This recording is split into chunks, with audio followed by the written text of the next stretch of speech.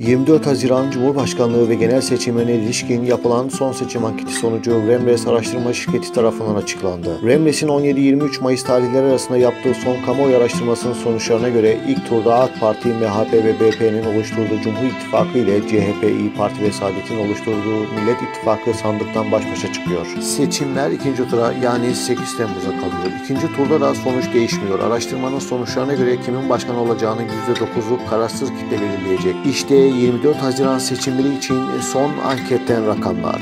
Seçim sonuçlarının ekonomik kaygıların belirleyeceğini belirten şişmanlar sözlerini şöyle sürdürdü. AK Parti ve MHP'nin başta aktörler olduğu Cumhur İttifakı Mayıs ayı boyunca durağan bir görüntü çiziyor. Burada en önemli etken elbette ki ekonomi. AK Parti kanadı ne kadar buna önlem alması amacıyla ekonomik paketler ve vaatler açıklasa da iktidar ortağı MHP'nin özellikle diğer Cumhurbaşkanı adaylarının imza süreçlerinde sarf etmiş olduğu sözler ve kamuoyunda çok düşük bir kabul gören af tartışmaları Cumhur İttifakı'nın ilerleyişine şimdilik ket vuruyor gibi görünüyor. Örneğin son raporumuzda sorduğumuz af konusuna katılımcıların %70'e yakın olumsuz bakarken olumlu bakanlar %20'lerde kaldı. Yine katılımcılara sorduğumuz Türkiye'nin ekonomisinin gidişatını nasıl buluyorsunuz sorusuna da katılımcıların %67'si kötüye gidiyor derken iyiye gittiğini söyleyenlerin oranı ise %17'de kaldı. Cumhur İttifakı'nın bu seçimde en önemli sınavı ekonomi verilerinin iyileştirilmesi ve bu olumsuz hissiyatı aşabilmek olacak.